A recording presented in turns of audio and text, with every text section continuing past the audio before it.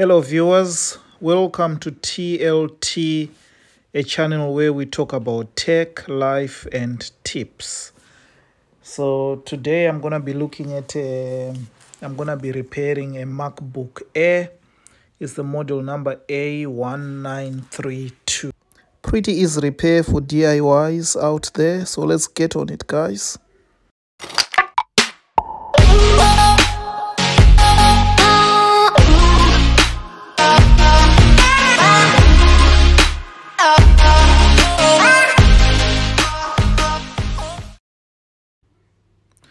I have already done my diagnosis and determined that uh, we only need to do a battery replacement.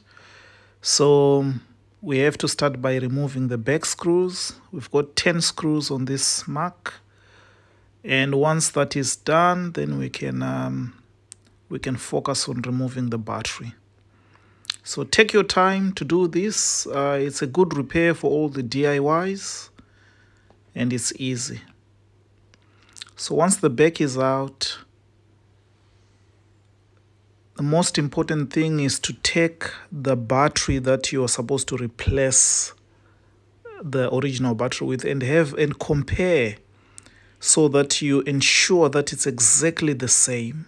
Because often whenever you order parts from third parties in most cases if you don't do your due diligence, what will happen is you might actually realize when it's too late that you've got a different battery because every Mac uses a, a different battery. So very important to just do that uh, due diligence check. And if you are satisfied, then you can proceed with uh, replacing the part.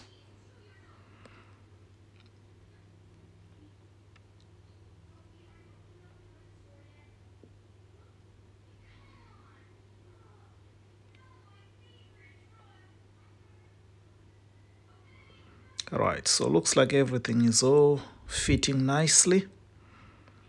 And um, and if you look at this battery the beauty of this battery actually is that uh, it sits on a metal plate so it's not fully glued onto the Mac onto the Mac. It's on a plate. So what we've got to do now is if you look uh, on the left and on the right you've got speakers that are glued in so you've got to unglue those speakers. They've got like a double-sided adhesive strip underneath where if you pull it, it stretches and just comes off. But otherwise, I mean, if you're doing it as a DIY, you might not really be uh, experienced enough to take it out without breaking it. So that way, that's still okay. You can still use isopropyl to actually remove it because it softens up the, the glue stick and it makes it uh, easy to, to actually remove the, the two speakers. So what I'm doing now is once you put the battery in, you've got to test it. So you got to plug it in and make sure that the Mac switch is on. Because in this case, we just want to make sure the battery is all in good working condition. And once you are satisfied that uh, that is the case, the next thing that you want to do again is you want to unplug the power and then you want to once you unplug in fact you want to disconnect the battery and then you want to plug in the power. In that case it should actually switch on just like now. So it tells you that uh, everything is okay because if there is an issue with the battery the battery has got a circuit in it which can either stop current depending on what sort of like current is flowing through it. So if the current is not enough and it detects that there is an issue with the battery you might not get any power at all once it's connected. But the situation is different if you unplug the battery and then power the macbook. Because if you don't know you might actually diagnose this for probably maybe a charging port or you might think there are other issues when it's just a simple battery. So you gotta all just do all those uh, tests and and be satisfied that uh, you know this is exactly what you should be doing.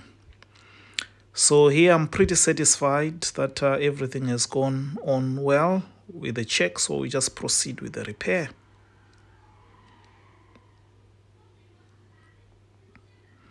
yeah we're gonna put our um, isopropyl those two speakers those big strips on the left side and on, and on the right side. Pulling all the adhesive strips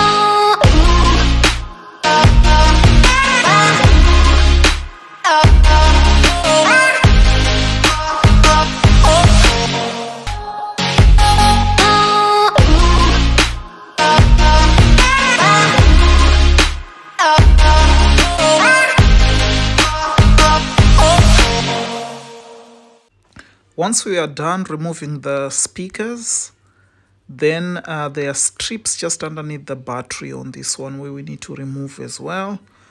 And then uh, we've got to soften that adhesive strip and we've got to carefully remove the battery, ensuring that we don't rupture the flexi cable.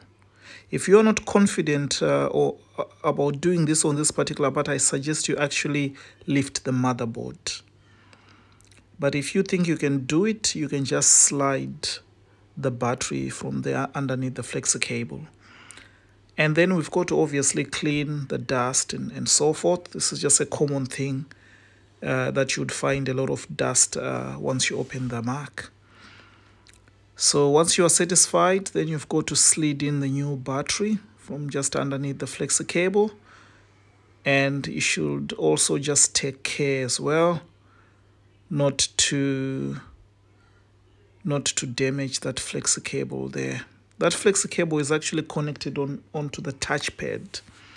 So you gotta just be gentle. You know, this is a game of patience. If you're somebody who's impatient, uh, then you've got to really think twice before you start. So everything is simple, right? So the battery is nice in place and it's nicely secured. So you've got to then uh, screw those two, secure it with the two screws, two on the left, two on the right.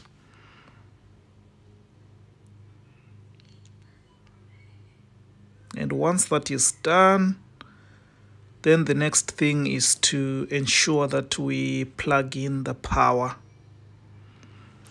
And plugging in the power should be the very last thing that you do once you are satisfied with everything you're gonna remove the sticker. Usually the uh, for every new battery it comes with a, a, a, sticker. You just have to peel that out. Otherwise if you leave it in there it might cause uh, static issues. So it's uh, recommended to just uh, peel it off. And you know electronics engineering you gotta just look at these things like an art. You gotta be an artist. A lot of it, if we take away the jargon, it, there are things that are very simple and easy to understand. It's only when we start to put jargon and all that. And the reason for this channel is to just make things simple, you know, because you don't need to be sophisticated to do this. It's just something that you can easily, with good care, you can easily perform it at home and obviously if you're not confident then obviously i would say consult with professionals or you could just uh, inbox me and i can i can help you with it.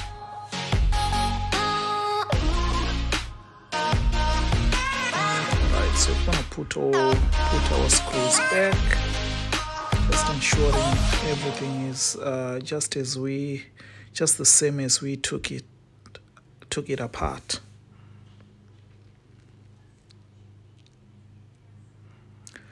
a lot of these problems they are just more like trying to fix a puzzle or just doing a logo piece you know.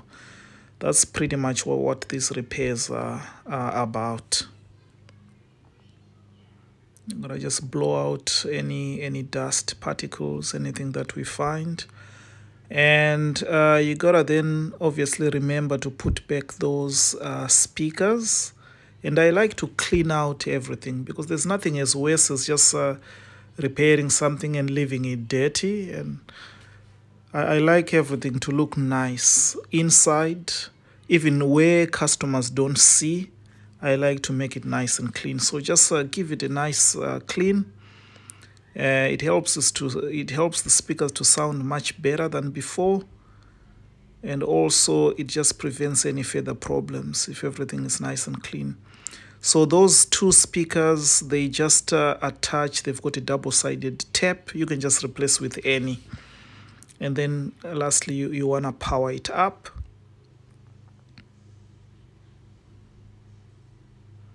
just make sure it's nice and secure pretty much that's it close it and put the screws back just make sure the screws they they come with different sizes.